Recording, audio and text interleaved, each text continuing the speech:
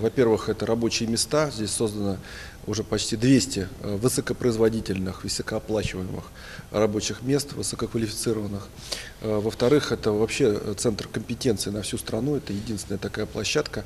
Э, И, как вот мы сегодня обсудили, обсудили с руководством компании, есть еще в планах и дальнейшее расширение присутствия э, производственных подразделений компании здесь, в Нижегородской области. Это э, по-настоящему здорово, мы в этом заинтересованы. Город, в котором приятно жить, в котором, так сказать, удобно создавать рабочие места, в котором комфортно людям, которые сюда приехали.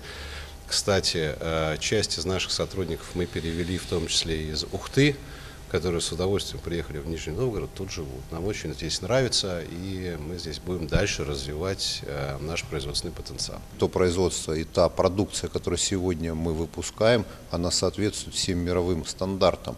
А во многом она намного дешевле и даже качественнее. Сегодня мы убеждаемся. И центр нам позволяет идти вперед. Спасибо компании, спасибо нашему Нижнему Новгороду,